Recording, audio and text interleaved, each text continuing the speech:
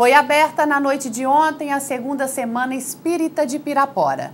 O evento é promovido pela Aliança Municipal Espírita, AME, no auditório da Câmara Municipal de Vereadores.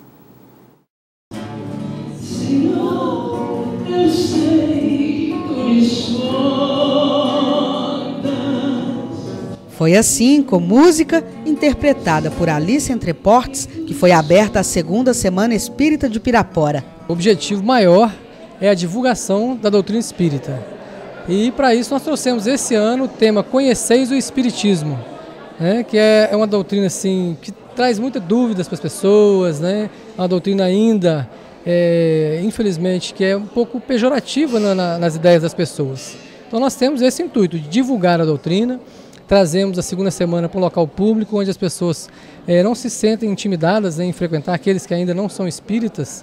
Então, o objetivo maior é esse, a divulgação da doutrina espírita. O Brasil é considerado o maior reduto espírita do mundo. Em Pirapora, existem seis casas que pregam a doutrina. Olha, eu sou, eu sou espírita há 25 anos, eu nunca tive outra religião antes, embora tenha sido criado numa família protestante mas a forma como eles me passavam Deus, a forma como eles me passavam a justiça de Deus, eu não achava muito coerente. Então, depois que eu conheci o Espiritismo, eu vi o Deus Pai, o Deus verdadeiro, aquele Deus que sempre deixa a porta aberta à oportunidade da transformação de seus filhos.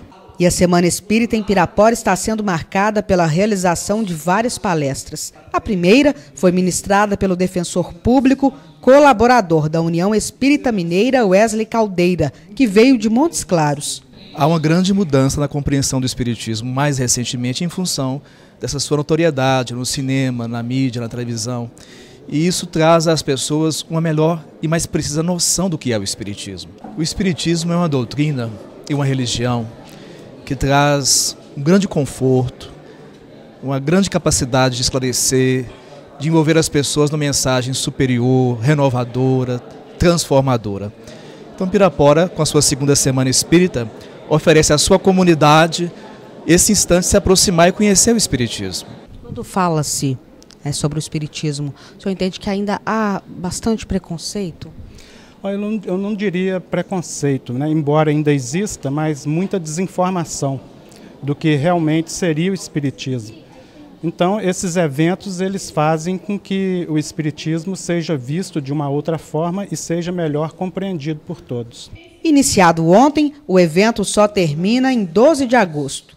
Vai até domingo, né? Começa hoje, é quinta, sexta, sábado com palestras às 7 horas da noite e domingo às 8 horas da manhã. E vamos ter uma, uma atração no sábado, que é um teatro com o pessoal de Curvelo. Sei